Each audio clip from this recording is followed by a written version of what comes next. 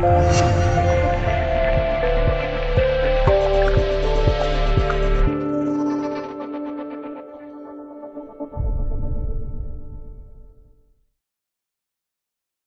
国时间七月六日，特朗普政府声称将对中国价值三百四十亿美元商品加征关税的决定即将正式生效。不管其中是否还会有变数，中国的反制措施早已准备就绪，严阵以待。中央广电总台国际在线七月五日晚刊发国际锐评指出，美国最想打贸易战的可能只有民粹总统特朗普。贸易沙皇莱特希泽和中国威胁论炮制者纳瓦罗三个人，再过一天，也就是七月六日，美国声称对中国三百四十亿美元输美商品加征关税的决定将正式生效。中国已经严阵以待，届时必然会综合使用数量型与质量型措施进行对等反制。中美贸易战一触即发，既然是战争，交战双方必然都会付出代价，所以。中国不愿打贸易战，也不会开第一枪，因为中国深知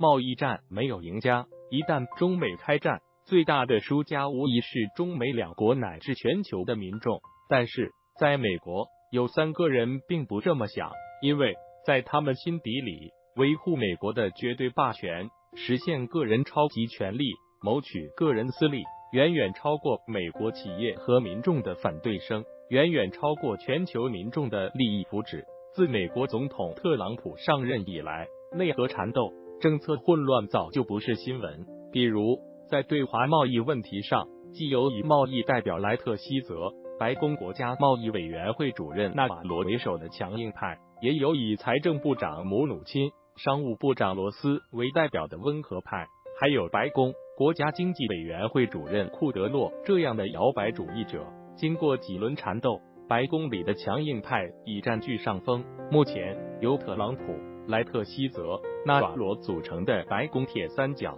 正以加征关税为手段，对所有被他们认为占了美国便宜的贸易伙伴们挑起战火。中国是其中主要目标，这并不令人意外。就特朗普而言，他出身商界，为博选票，他竞选时大打民粹牌，将矛头对准中国。声称中国抢走了美国人的工作，他要帮美国人拿回来。入主白宫以后，他所有政策的基石都是为了兑现竞选承诺，以最大程度笼住选票，巩固共和党今年十一月在中期选举的优势地位，顺带为自己竞选连任造势铺路。因此，美国过往的所有内外政策都要服从于他，而不是他要遵循这些政策。这样。中国自然成为他兑现承诺的主要战场。他要利用所擅长的商业领域和交易艺术，成就他让美国再次伟大。为实现这一点，特朗普必须寻找志同道合的战友。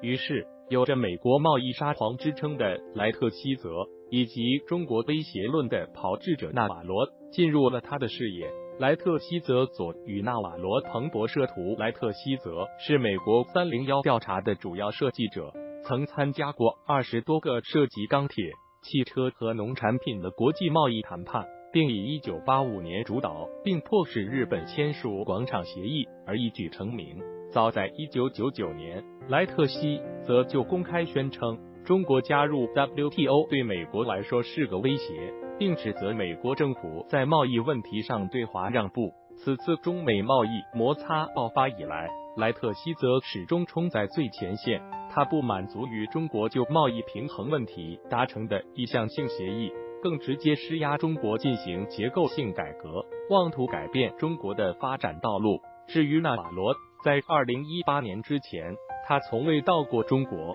虽然他早年主要研究电力和能源。但并不妨碍他凭借二手资料半路出家，拼凑出《中国威胁论》以及几本把中国视为假想敌的书。这十几年来，他狂热的钻研中国威胁议题，并因此进入美国政坛，频频在美国联邦调查局、美中经济安全审查委员会、美国国会等机构攻击中国，并最终成功的引起了特朗普的关注，成为其最重要的政策顾问之一。至此。美国仅有的三个想与中国打贸易战的人走到了一起，原因也很清楚，特朗普眼里只有选票和党争，贸易沙皇莱赫希泽渴望再创辉煌，著作等身的纳瓦罗则希望能将他十几年苦心炮制的假设议题付诸实践。三人因此一拍即合，各得所需。于是人们看到，在美国这场对华贸易战中，